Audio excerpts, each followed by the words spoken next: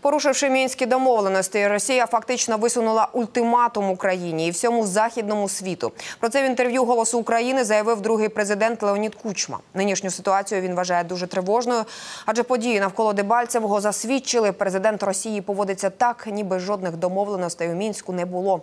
Путін дає зрозуміти, або ми приймемо його умови і припинимо будь-який опір, або перестанемо існувати як незалежна держава. Леонід Кучма вважає, що Україні у цій ситуації треба боротися із двома суперечностями: розбудовувати демократію, а паралельно зміцнювати дисципліну і єдність.